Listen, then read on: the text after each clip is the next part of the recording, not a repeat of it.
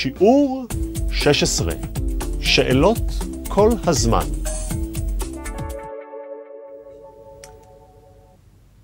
אני לא יודע למה. בבוקר, בזמן לא קמתי. בגן, שירים לחג לא שרתי. בדרך מהגן, אחרי פרפר, רצתי. לכן, מאוחר הביתה, באתי. את הכובע במקום לא שמתי. ועל הכדור, עם אחי הקטן, רבתי. שאלות אני שומע כל הזמן. דני, למה מאוחר הביתה באת? למה אחרי פרפר רצת? למה עם יואב הקטן רבת? למה בגן שירים לחג לא שרת? למה את הכובע במקום לא שמת? את כל השאלות אני מבין ושומע, אבל תשובות לענות? הרבה פעמים אני לא יודע. כתבו את הפועל בצורה הנכונה ובזמן הנכון. בדרך כלל הם טסים בקיץ לאילת. בקיץ שעבר הם טסו לפריז. עכשיו אני גר בחיפה. בשנה שעברה גרתי במרכז קליטה. אחרי הלימודים בטכניון אני רוצה לגור בתל אביב. חנה, כל יום את באה לכיתה בזמן. למה אתמול באת מאוחר? באתי מאוחר אתמול מפני שהייתי אצל הרופא.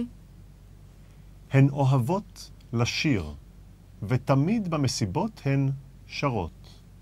במסיבה שהייתה לפני שבוע הן לא שרו, מפני שהן היו עייפות. אני עושה דיאטה.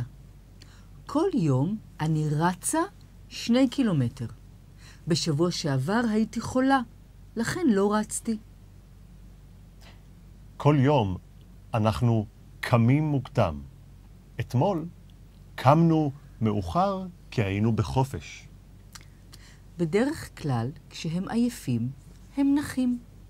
לפני שבוע הם היו עסוקים מאוד, ולא היה להם זמן כדי לנוח. לכן הם לא נחו. דן, למה לא באת לכיתה אתמול? לא באתי לכיתה אתמול כי הייתי חולה. הציווי, מפקד ומפקדת. שמי אלון לוי. אני משרת בצבא קבע. אני קצין ומפקד.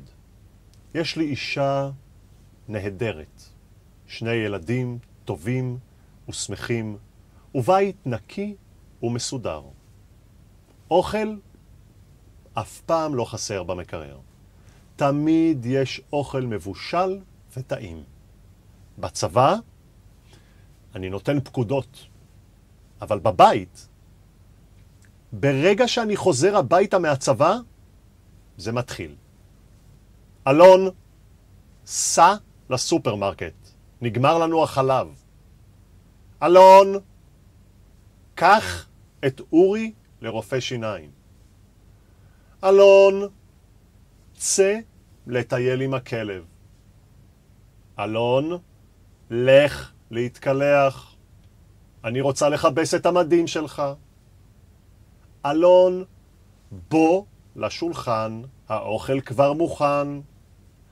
אלון, שים מים לקפה. בא לי לשתות קפה. אלון, קום ולך לראות למה דני בוכה.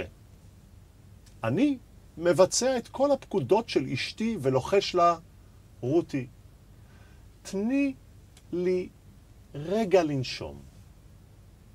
בצבא אני נותן פקודות, אבל בבית, בבית, אשתי המפקדת ואני ראש קטן. בבית המרקחת, קראו והשלימו. יש לי כאב ראש. תן לי בבקשה כדור חזק במיוחד.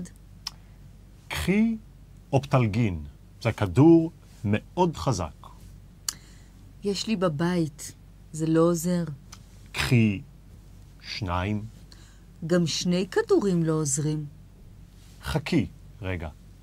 יש לי תרופה חדשה, אבל שימי לב. אסור לך לנהוג במכונית. לא אכפת לי. אני הולכת הביתה, אני לא יוצאת לבלות. אם כך, לכי הביתה, קחי את הכדור ולכי לישון. אני מודה לך. כתבו